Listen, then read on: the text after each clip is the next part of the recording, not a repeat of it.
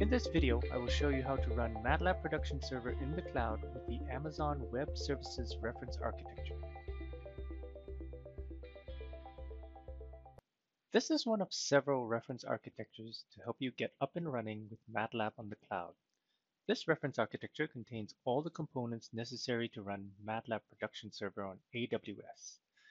The CloudFormation template deploys the following services in a stack a virtual private cluster or VPC, an EC2 virtual machine that acts as the license server and cloud console server. By default, two virtual machines that run MATLAB Production Server in an auto-scale group, although this number can be changed during provisioning, a load balancer, and an S3 bucket for log files. We'll get started by navigating to the GitHub repository for the MATLAB Production Server reference architecture. This page has the detailed instructions that I use for this video.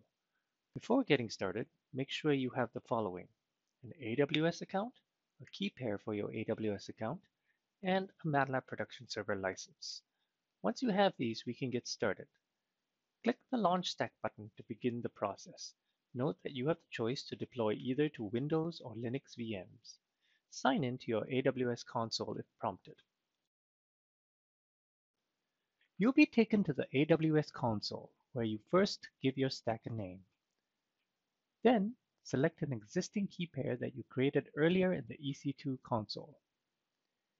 If you wish to secure your connections with HTTPS, enter the ARN for your SSL certificate here.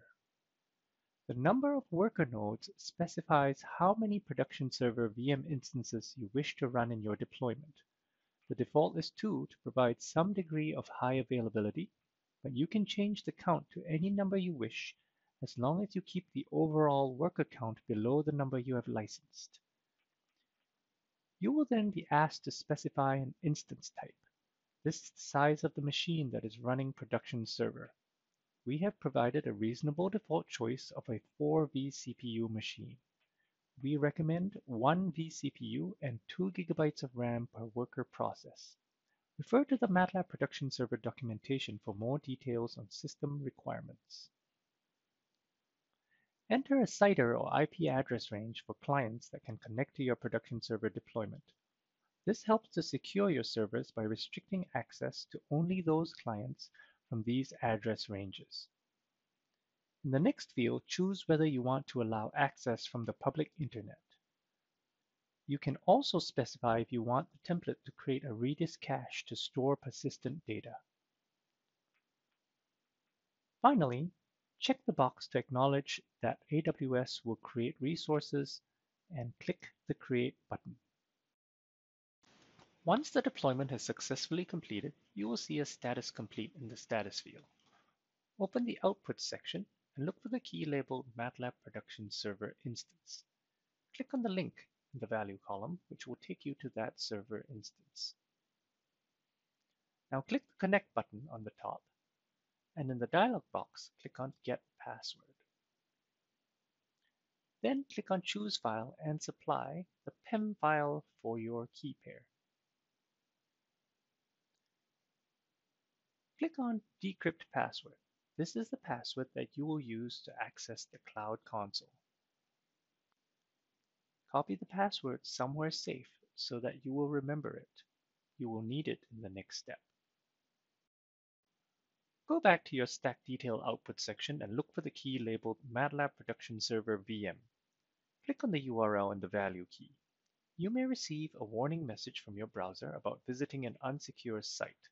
This is due to the use of a self-signed certificate. You can change the self-signed certificate to a CA signed certificate to eliminate this error. Details on how to do so are found in the GitHub repository. Log in using the username administrator and password you decrypted in the previous step. The Cloud Console shows you the current status of your production server deployment. We specified two VM instances earlier each one of these instances is running four MATLAB workers, giving us a total of eight workers. A typical production server license contains 24 workers, so you can scale up to six VM instances. The URL endpoint to call your functions from your client application is displayed prominently on the Cloud Console. The first thing we need to do is to get the host ID or MAC address of the license server. We will need this to generate our license. At the Cloud Console, go to the Administration tab and choose License. Provide the license server host ID to your sales rep if you're obtaining a trial license. Otherwise, provide the host ID to your license administrator who has access to the MathWorks License Center to generate a license file.